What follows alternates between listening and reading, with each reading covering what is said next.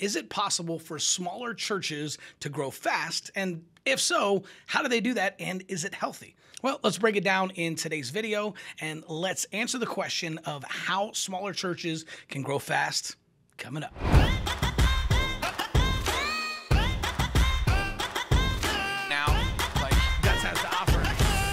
What's up, y'all? If you're brand new to the channel and we're meeting for the first time, what's up? My name's Chris Abbott, but all my friends just call me Abbo. I'm the co owner of Church Marketing University, and I created this channel in order to bring you the best strategies, tactics, and ideas in order to help you grow your church and ultimately make heaven crowded. So let's dive into uh, five proven tactics here on how smaller churches can grow their church fast. Now, I know sometimes, uh, especially when we're talking about fast church growth, right? People talk about hyper church growth versus versus healthy, sustainable church growth. And what does that look like, right? And how slow is too slow and how fast is too fast, right? But here's the deal when you take a look at the book of Acts, the church did not grow slow, right? You you start looking when Peter started going in and started preaching, right? And, and, the Lord added to their number daily, right? We're talking about huge numbers, and the church grew really, really fast. So I don't think that growing fast uh, is a problem or is bad, but you do have to have some of the right systems in place in order to be able to handle some of that growth, right? So what we're going to be talking about specifically in this video isn't necessarily the systems you need to have behind the scenes. That is a different video.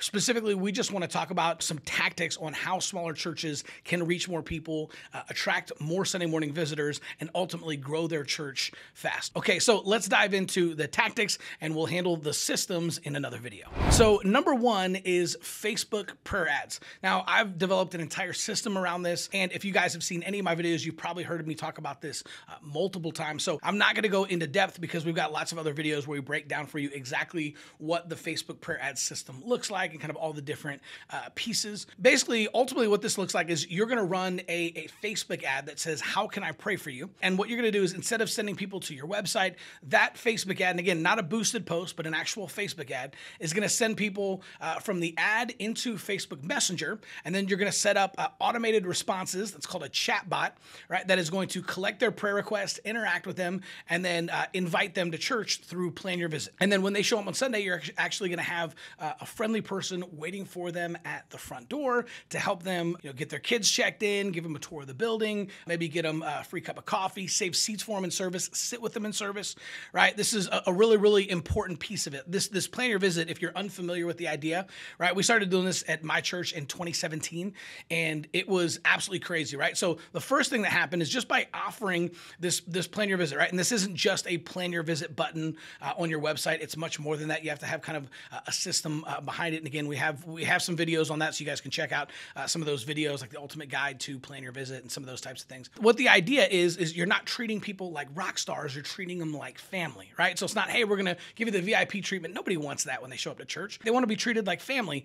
And the idea of plan your visit is having a friendly person waiting for you at the front door when you show up so that you don't walk in feeling awkward and not knowing anybody, right? It's why like the power of a personal invite is so is so powerful is because you have somebody that you know, somebody that you trust who's waiting for you at the front door. So you're not just walking in by yourself feeling awkward like an idiot, right? So that's the whole idea behind plan your visit. So it's not the VIP treatment, it's treating them uh, like family, right? Really important distinction. So that's what the funnel looks like, right? With Facebook ad into Messenger, where there's a chat bot that ultimately leads to plan your visit. They have uh, a host waiting for them at the front door, and then we're gonna plug them into a follow up system. I recommend a 12 week follow up system. My favorite way to do that uh, is with Text in Church, right? But it's important to continue to follow up with them for at least 12 weeks after they visit, right? Because the the only thing better than a first time visitor is a second time visitor. Now, using Facebook prayer ads, especially if you have the system uh, set up the right way, uh, man, we've seen churches go from 15 to 50 in only two months. I saw a church of 60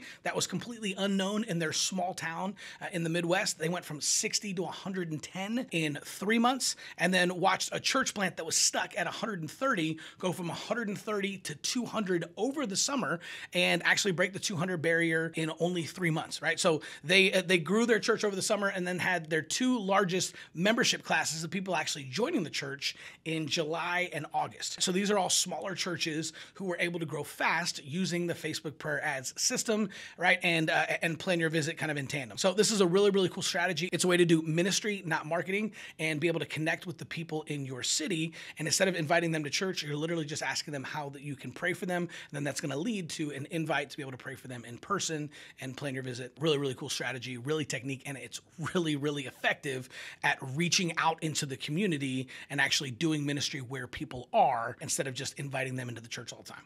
Really cool. All right, number two is Google My Business, right? So what you can actually do is you can set up a Google My Business profile on Google, right? They call it verifying it, right? Because if you if your church has been around for any length of time, then Google is really smart, right? Like they already know that you're there. But so if you go in and you actually verify your profile and you set it up correctly, this can help you reach a lot of people who are actively looking for churches. It can help you in Google search when people are actually searching for churches in your area, but it can also help you uh, in Google Maps, which is really, really important, right? So you ever go in and type like churches in your city, right? Churches in Tulsa, and you'll see that a bunch of Google Maps listings actually come up, right? And then you also have uh, the churches themselves. So the best thing that you can do is you can uh, rank in that Google Maps listing. You want to be one of those churches in the Google Maps listings before the rest of the churches, and preferably you'd be in both.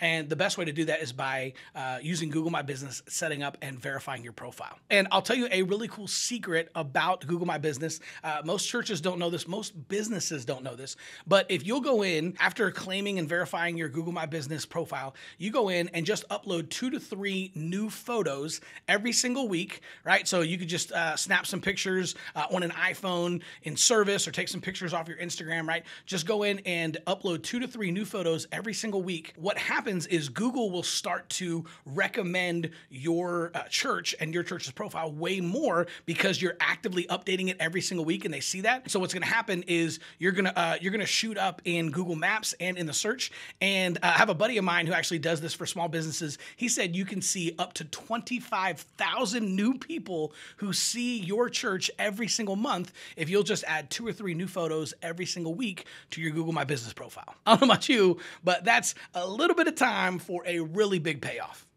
It's pretty dope. Number three is the law of the list. Okay, now my favorite way to do this is with Text in Church. This is one of the best ways to build a list, right? And so, if you know anything about online marketing, one of the things that you'll hear uh, dating back several, uh, like for over a decade, is they'll say like, "Hey, the money is in the list," right? This is, this is so if you're if you're going to build an online course or any type of online business, right? The most important thing you can do is build an email list, and the reason is because if you build uh, a website or a Facebook page or a Facebook Facebook group or uh, an Instagram account or a TikTok account or a Snapchat account or any of these different like social media and tech platforms, what could happen is they can all get shut down. Something could happen to your website, right? The server could crash or somebody could, you know, deem you a hate group and they could shut down all of your social media pro- profiles or something like that, right? Facebook does this kind of crap all the time. Not even with hate, they just say, hey, you violated our policies and they shut stuff down. It's like, we didn't violate any policies, right? But it's all AI, it's all automated, right? And, and it can be really, really hard to get that back up. So whenever you're creating all these different things, it's not bad to create those. You definitely want to do this. But the most important asset that you can have in any organization is an email list, right? Because you can always download that email list and you can take it anywhere you want to. So if you had uh, MailChimp or you use Text in Church or if you use ConvertKit or any of these other email list uh, programs, what you can do is you can always download that uh, as a file and you can upload it into any other, even if you're if you're switching, right? Like maybe you're on MailChimp right now and you say, oh my gosh, I'm gonna take Abbo's advice and I'm gonna go with Text in Church because they're awesome. You can literally just download all of your emails in a list and you can take them over to Text in Church, you can upload them, boom, and you have that forever everywhere that you go, right? So no matter what size your church is right now, imagine if you had an email list of 100, 200, 500, 1,000, 2,000, 5,000, 10,000, 20,000 emails of people who live within driving distance of your church that you could email whenever you want for free and invite them to service, right? This is the law of the list. So the cool thing is the three major places that I recommend building a list are going to be your email list, right? So you want to collect emails of every single person who lives within driving distance of your church, as many as you can, so you can invite them out to Christmas, Easter, new sermon series, events, uh, just a random Sunday, right? Anything that you have going on. The next thing you want to do is you want to build a text message list, right? And this is awesome because text messages have like a 96% open rate, right? It's actually crazy because think about it. When was the last time you got a text message that you didn't open, right? So you want to uh, build a text message list. And then my new favorite way of doing this is actually to build a Facebook Messenger list, right? Now, this is something that obviously if Facebook shuts you down, they could take away your list too, right? But this is another great thing to invest in because you're always going to have your email list, you're always going to have that text message list, and then that messenger list is a really, really great asset to build as well. So as people message your church, they become subscribed to your Facebook Messenger list, right? It's kind of like an email list that lives inside of Facebook. And the cool thing is, is you can actually run a tiny little Facebook ad just to that messenger list, but it's like pennies on the dollar, right? So for example, I have a friend of mine who has a church down in Texas that actually has been doing this, and he's got something like you know 1,800 or 1,900 people uh, that have messaged him, and most of them through different types of prayer ads and discover your purpose campaigns. Again, some things we've talked about here on this channel. What happens is now those people are subscribed to his Facebook Messenger list. He can go in and he can send a message to them, and he can invite them out to Easter or his back to school bash or Christmas Eve or a brand new sermon series, and he can pay Facebook. And when I say it's pennies on the dollar, I mean literally you can send out a personalized message to every single person on there, right? 1,800 people that are subscribed to your messenger list for like 20 bucks, right? It's absolutely crazy. And it comes in like a personalized text message in their messenger inbox, which is awesome, right? So you can write it uh, in the first person as if it's just like a text message from you to them. Really, really powerful, really, really effective. And Facebook Messenger has a 93% open rate, which is dope, right? So if you send that to a thousand people, 930 of them are going to open and be invited to your sermon series kickoff, uh, your grand opening, right? Your, your, your Christmas Eve, back to school, whatever it is. So really powerful, really, really cool. But that's the law of the list. Again, my favorite uh, platform for using this is Text in Church because you can use that for email and for text message. And then you can start working on building your Facebook Messenger uh, list. And one of the best ways to do that are with Facebook Messenger ads. Specifically, I really like prayer ads. And again, we have videos that kind of walk you through exactly how to do that.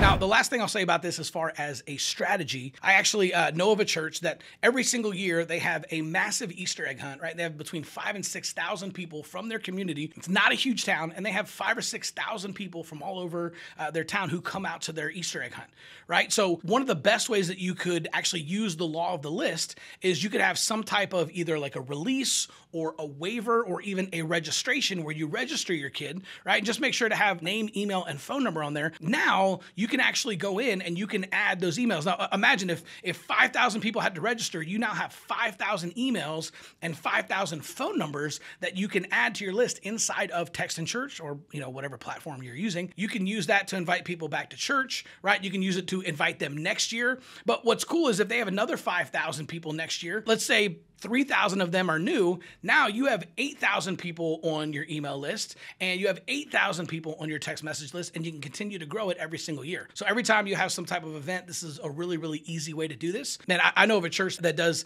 an October outreach, uh, right? Every single October, and typically have about 30,000 people that come through there. I told the leadership, I'm like, listen, if, because they already have a waiver that every single person needs to fill out. And I was like, just add email and phone number to the waiver, right? Like you're getting everything else they have to sign that, you would now have 30,000 emails and 30,000 cell phone numbers that you could email and text whenever you have your Christmas services, a new sermon series, right? Think about what it would look like next year when you could pre-sell tickets to the, this this October outreach that they do to 30,000 emails and 30,000 uh, cell phone numbers, right? Like just think about how awesome that would be, right? And the cool thing about these things is there's an unsubscribe button, right? So if people don't want to hear from you, they can unsubscribe. It's easy. But the people that want to hear from you will stick around and stay on that list. And then next year it's another 30,000 people, right? So now you got 60,000 emails and 60,000 phone numbers, right? And it just continues to snowball every single year, right? Uh, this is this is a great way. Finally, there's a church that does uh, a Christmas outreach, same thing, but they have 50,000 people. It's a big church. 50,000 people that come through that uh, every November and December. Again, 50,000 emails, 50,000 uh, cell phone numbers that you could plug in. This is a great way to be able to build your list, right? So even if you have, if you're doing things on a much smaller scale and you only have uh, maybe 20, 30, 40, 50, 100 people that might come out to an event like that, try to figure out a way to have some type of registration or a waiver or something like that. And just make sure to put name, email, and phone number. And then that way you're starting to build your list. This is a great, easy, practical way in order to utilize the law of the list at your church. Okay, so before I get to my last two points. Man, I want to encourage you, uh, man, make sure to like this video. Whenever you, you like this video, that just helps YouTube's algorithm show it to even more pastors and church leaders, kind of help us get the word out here and help as many churches be able to reach more people for Jesus and make heaven crowded. Make sure to like this video uh, and maybe even send it to a friend, right? If you're getting some value out of this and, and you like it, man, maybe uh, just just uh, pray about or, or, think about a, a pastor or church leader that you know that needs to see something like this and send over this video. It's a really small thing. It takes just a couple seconds for you do, but it means such a huge deal to me. So thank you in advance for uh, maybe sending this out to a pastor or a church leader that you know that needs to hear this. Appreciate you guys. All right, number four, online reviews. Now, this is kind of crazy. And again, I think this is one of those things like we mean to do and we know that we should do, but we don't really do, if that makes sense, right? Like online reviews, we're talking about Google reviews, we're talking about Facebook reviews, we're talking about Yelp reviews. Whenever someone's looking for a church, one of the best things that they look at online reviews to see how good uh, a church, a restaurant, a business, an organization is, right? This is just kind of how we how we do this. I have a friend of mine who every time he goes to a new city, the first thing he does is he goes to Yelp and he looks up the best local restaurants and he determines that by who has the highest amount of ratings, right? Who has the most online ratings and who has the highest online ratings. So this is really, really important. So another cool kind of tip uh, and tactic here is that if you can get two to three new Google reviews every single week, Google will again start prioritizing your church and you will start ranking in that map section that we were talking about. Man, could you go out and maybe just text five people every single week and ask them to leave you a Google review, right? If you text five people,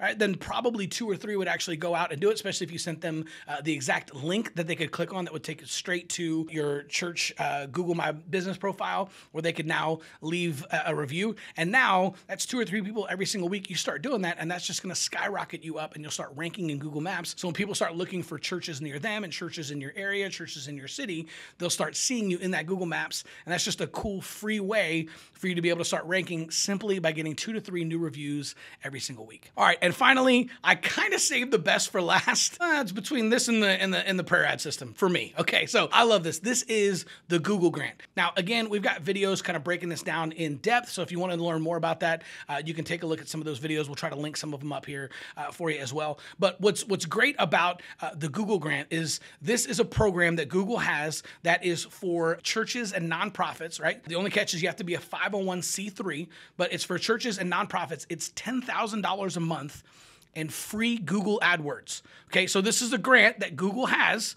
It's $10,000 a month in free Google AdWords every single month. Okay, it's and it's literally what it sounds like. Like every month it resets and you have another $10,000 in Google AdWords, $120,000 a year in Google AdWords that you can use for your church. An important distinction this is not a briefcase full of cash. Okay, you can't just like take this and say thank you and then go make payroll or, you know, go buy direct mail or something with it. It's an ad credit, but you can literally go into Google AdWords and you can set up campaigns uh, based on what people are searching for. So you could literally uh, set up campaigns for, uh, you know, ch- uh, so like I live in Tulsa, right? So we say uh, churches in Tulsa, best churches in Tulsa, uh, churches near me, Tulsa, right? Tulsa churches, Tulsa non denominational churches. You can go through all these different phrases that people are searching Google for, and then you can create ads which are automatically going to put your church on page one of Google, right? And actually at the top, right? So if you've ever seen this, if you go type this in right now, you can go open up a, a Google window, right? Type in, you know, churches in your city,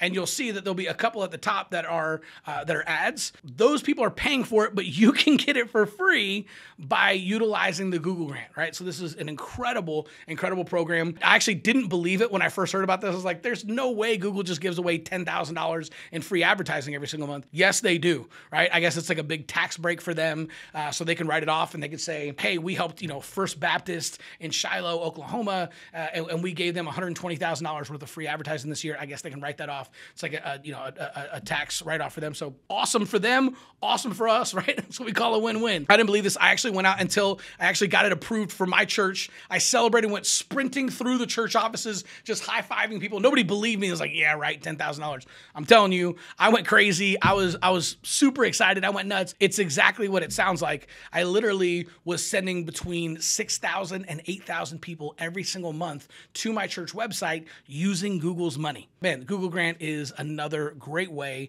for you to be able to grow your church fast because you think about how many thousands of people are going to see that and go to your church website, especially if you have something like a plan your visit landing page set up that you're sending people to. Now, with all of that traffic, they have a chance to learn more about your church, plant that seed, and ultimately plan a visit to your church on Sunday morning. All right, so if you guys like this video and you want to learn more about some of these tactics and you actually want our help, all right, kind of holding your hand and walking you through how to set some of these things up in your church, we have videos on all of this stuff inside of Church Marketing University. What we did is we actually teamed up uh, with DigiGiv here recently, and we have a couple of scholarships available, right? So, especially if you're on a tight budget or if you're a smaller church, you know that you really need these things, but you're just not sure how you're going to pay for it. Um, man, we have scholarships available up to 90% off, uh, right? Uh, scholarship. So if you just go to churchmarketinguniversity.com slash scholarship, you can actually apply for your scholarship. And then based on kind of your situation, the size of your church, uh, and the size of your budget, that kind of stuff, you can qualify for a scholarship all the way up to 90% off. If that sounds interesting to you, if you want our help and kind of, you know, walking you through and holding your hand how to set some of this up for it, head on over to churchmarketinguniversity.com slash scholarship, or you can just simply click on the link in the description below. Man, I am, uh, I'm for you guys. I'm legitimately praying for you guys every single week, right? So keep watching, keep hanging out, and let's make heaven crowded. We'll see you soon.